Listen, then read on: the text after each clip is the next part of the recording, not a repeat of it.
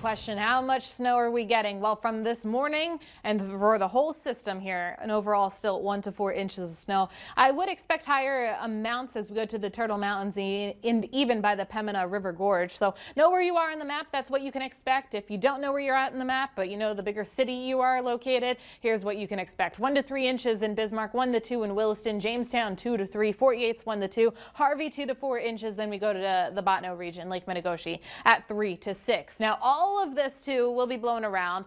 It will be causing low visibility as we're already seeing in many areas in the northwest. But where the visibility is still good is actually in Bismarck. But I'm starting to see the changeover now from that rain to the snow slowly taking over. Uh, same thing in the Grant County area. Again, uh, because the ra radar beam is a little bit higher, uh, it's not seeing that melting necessarily. So we're starting to see that snow though filter in and that rain snow line continue to sag southward because of the cooler air pushing in.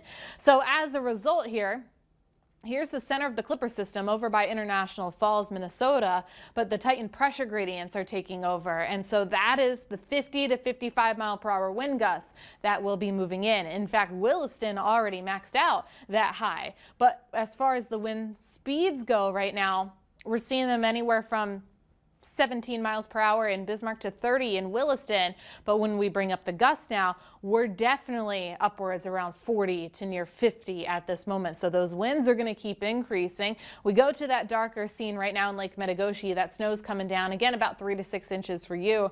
Uh, here's Minot. You can see some flakes falling, but the roads here look okay. But again, it's once you get into the rural areas at this point, we're going to see that lack of the visibility out there.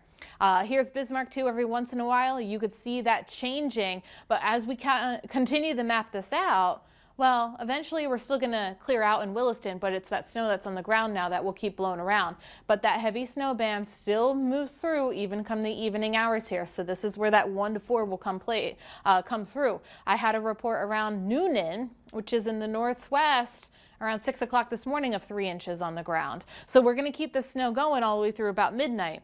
But overnight tonight, it's still gusty to 50 to 55 miles per hour, even come tomorrow morning. It's cleanup mode, and I still think a little dicey out there on those roadways because here's the winds once we go to 2 o'clock this afternoon.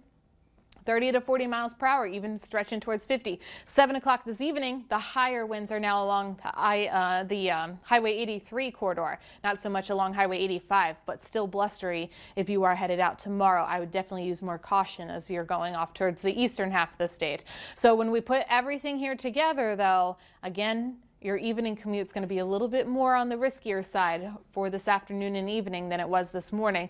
Uh, even come tomorrow morning, Krista, when it's cleanup mode. Winter weather advisories in effect all the way through Saturday, uh, even for 3 o'clock by the uh, Devil's Lake region tomorrow, too. So be careful. Yeah, it's hard to remember that two days ago it was mid 60s here. So. Rec yep, record breaking high.